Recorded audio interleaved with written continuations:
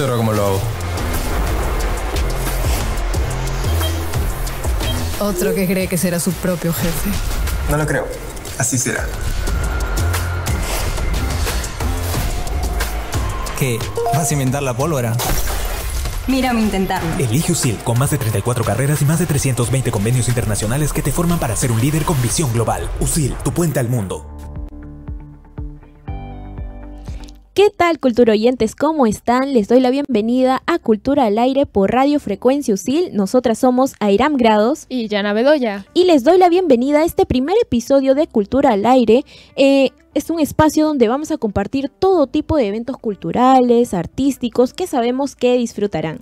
Así es, Airam, y es, sabemos que es importante fomentar todo este tipo de eventos culturales, artísticos, de danza, música, teatro también, muy importante para los jóvenes de hoy en día, ¿no? Para que se cultiven en todo el tipo de arte. Claro, y sobre todo porque nosotros nos encontramos en una formación profesional actualmente y necesitamos tener al menos un poco de cultura en nuestro día a día. Pero bueno, vamos a comenzar con este programa con una noticia realmente asombrosa, ¿sí o no, Yana? Así es, mi querida Airam, estamos hablando de la Noche de los Museos, uno de los eventos más importantes que está desarrollando la Gerencia de Cultura de la Municipalidad de Lima. Y cabe recordar que justo el día de mañana, 18 de mayo, es el Día del Museo. Es el Día del Museo, así es, pero contándoles un poquito más acerca de la Noche de los Museos, eh, bueno, eh, decirles que este evento se realiza todos los primeros viernes de cada mes, donde pueden conocer de manera libre con un horario extendido los diversos recintos culturales del Centro Histórico de Lima.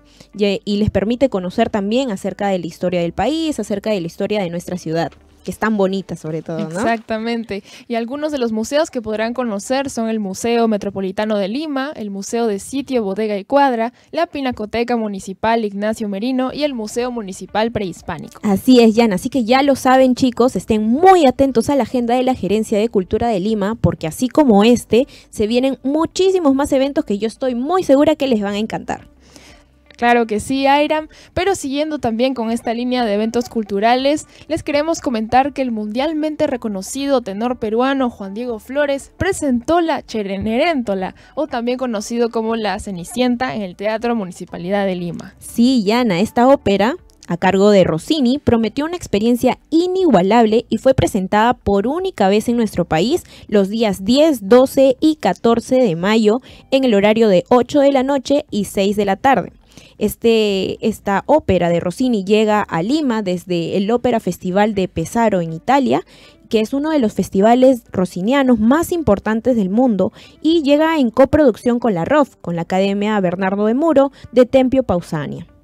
Se vivió, la verdad, eh, todas estas fechas, una experiencia inigualable por única vez en nuestro país, como como les vuelvo a repetir.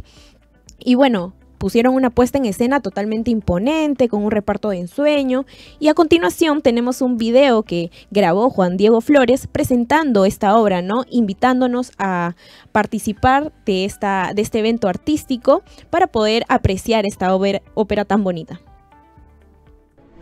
Hola, los saluda Juan Diego Flores y quiero contarles que la Cenerentola de Rossini llega a Lima presentada por el prestigioso Rossini Opera Festival de Pesaro, Italia, quien actuará por primera vez en el Teatro Municipal de Lima. Además, me siento muy orgulloso de que la Orquesta Juvenil de Sinfonía por el Perú sea quien acompañe esta bellísima y divertidísima ópera. No se lo vayan a perder. Este 8, 10, 12 y 14 de mayo Vaya, se ve que sin duda fue un evento fascinante, ¿no? Y ahora es hora de continuar porque iremos a una breve pausa comercial y ya regresamos. Ya regresamos.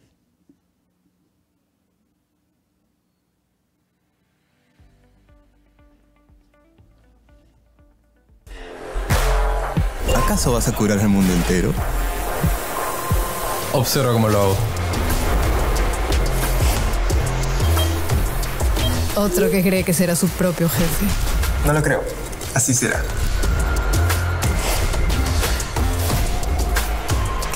¿Vas a inventar la pólvora? Mírame intentarlo. Elige USIL con más de 34 carreras y más de 320 convenios internacionales que te forman para ser un líder con visión global. USIL, tu puente al mundo. ¿Acaso vas a curar el mundo entero?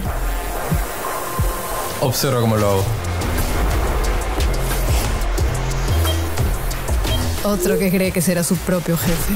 No lo creo. Así será.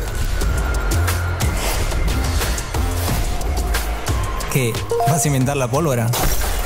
Mírame intentarlo. Elige USIL con más de 34 carreras y más de 320 convenios internacionales que te forman para ser un líder con visión global. USIL, tu puente al mundo.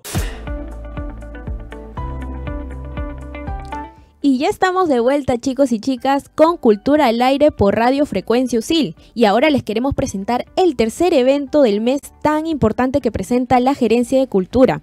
Eh, este habla acerca de la exposición Vidal Bedoya. El artista peruano Vidal Bedoya está presentando en la Sala de Arte Pancho Fierro de la Municipalidad de Lima una nueva exposición, Obras en Abstracción Simbólica, y la exposición está titulada Migradores, Signos y Mitos.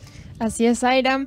Y también quería mencionar que, bueno, Vidal Bedoya es mi padre y yo como hija orgullosa estoy aquí representándolo. Y quería comentarles también un poco de qué va su obra, ¿no? Dan cuenta y explican su derrotero expresivo de estos últimos tiempos que sugieren movimientos, traslados, migraduras, como prefiere llamarlas el artista, con pinturas de gamas intensas, otras en grises quizás, blancos y negros, cargadas de enigmáticas presencias que nos remiten a iconografías ancestrales presentadas según una versión libre, personal y contemporánea. Así es, Yana. Y esta muestra estará vigente en la Sala de Arte Pancho Fierro de la Municipalidad de Lima, que se encuentra en el pasaje Santa Rosa 144 en el Cercado de Lima. La inauguración fue justo el día de ayer, jueves 16 de mayo, a las 6 y 30 de la tarde, y bueno, estará disponible hasta el 16 de junio en el horario de lunes a domingo, desde las 10 de la mañana hasta las 7 de la noche. Así es, Airam. Justo nos encontramos ayer el día de la inauguración, que fue una inauguración fascinante. Como mencioné, soy su hija y realmente estoy orgullosa. Tan orgullosa estoy que, como pueden ver en las imágenes, estuve vestida de uno de las obras de mi papá. A mí me encantan las gamas que son en celestes, en azules. Entonces realmente fue un evento increíble gracias a, al regidor de la Municipalidad de Lima, Gustavo Bayón, y al gestor, el gerente de Cultural, Miguel Molinari. Sí, precisamente ellos dos estuvieron presentes y también estuvieron presentes eh, USIL TV, estuvimos presentes nosotros también en un curso de la eh, carrera de comunicaciones, comunicación y globalización con la profesora Gisela Rivier. Estuvimos ahí presentes ambos bloques y la verdad es que disfrutamos muchísimo, muchísimo esta exposición, nos nutrimos bastante, para algunos fue la primera vez que, que fuimos a una exposición de arte y la verdad es que salimos pero encantados, así que definitivamente vamos a volver a esta exposición y muchísimas otras más que se vienen en adelante. Sí, exactamente, justamente el artista, nosotros, la familia, todos estuvimos muy encantados con la visita que tuvimos y fue un momento familiar, se juntó la USIL de todos lados y fue un evento espectacular realmente que todos disfrutaron muchísimo. Como mencionaste, fue su primera vez de muchas exposiciones, entonces... La verdad que sí. La verdad que encantado y salimos encantados. Muchísimas gracias a ti también, Yana, a tu papi, por habernos invitado a su exposición. De verdad que salimos muy felices eh, y muy nutridos sobre todo de cultura, de arte, porque eh, aprendimos de todo un poco. La verdad, eh, en todas las pinturas que pudimos ver ayer había una pequeña descripción y tal vez a simple vista nosotros no, muchos de nosotros como era la primera vez, no entendíamos, pero luego al profundizar un poquito más, a leer los folletos que habían, a leer las descripciones que tenían cada una de estas pinturas, nos dimos cuenta de que tenía mucho sentido, ¿no? Tenía mucho sentido estas pinturas todo lo que quería transmitir el artista y la verdad es que estuvimos muy felices de haber acudido ayer y como te vuelvo a repetir, vamos a seguir acudiendo a muchísimas más invitaciones que nos hagas y agradecele eh, de nuestra parte, de todo el bloque, la verdad, y de Usil también, a tu papi por habernos invitado y por habernos recibido con tanto aprecio. Sí, ahora le estamos mandando saludos a mi papá que nos está escuchando en la radio. Y sí, bueno, él realmente tiene un arte que expresa varias emociones, ¿no? Se puede sentir la, la, fuerza de los rojos, los amarillos, los azules, entonces es una serie de que fue, encontradas que impresionantes. Fue un honor poder compartir el mismo espacio con un artista que tiene tanta trayectoria y muchos de los invitados que también tenían muchísima trayectoria ahí eh, y sabían de lo que hablaban. Eh, también de hecho este, pudimos eh, entrevistar, conversar con muchos de ellos también y nos dijeron muchas de sus apreciaciones y también estaban encantados invitados al igual que nosotros. Claro, hablando justamente de su trayectoria, él ha expuesto también en Italia, en Alemania y entonces en varios países ha tenido ese récord internacional y él más que encantado, su primera vez exponiendo en el Centro Oficial de Lima, entonces bienvenidos van a estar siempre a las exposiciones. Muchísimas gracias Yana y también agradecer a la Gerencia de Cultura de la Municipalidad de Lima por eh, incentivarnos a ir a este tipo de eventos, ¿no? Porque la verdad no solo vamos a exposiciones de arte, sino también nos invitan a ir a museos, le están dando mucho énfasis al el tema cultural y sobre todo a nosotros los jóvenes que eh, necesitamos mucho de nutrirnos de este, de este tipo de cosas, ¿no? Para poder eh, seguir creciendo en nuestra formación eh, profesional. Claro, tienes toda la razón, ¿no? Para que de esa manera no solo las personas cultiven su conocimiento cultural, sino que también cultiven el espíritu, ¿no? Que es muy importante porque el arte es una parte esencial en la vida del ser humano, donde tiene esa libertad, donde puede expresarse y ser quien es. Así es, chicos. Pero bueno, lamentablemente esto ha sido todo por el primer programa de hoy. Muchísimas gracias, Yana, por tu compañía, por haberme invitado también a este programa para compartirlo contigo. Y bueno, muchas gracias a ustedes por estar en sintonía con Cultura al Aire por Radio Frecuencia USIL. Nos vemos en un siguiente episodio con muchísimas más novedades que la verdad es que desde ayer ya empezaron los eventos culturales, ¿ya? Así que están muy invitados y nos vemos en un siguiente episodio para hablarles más de los eventos culturales.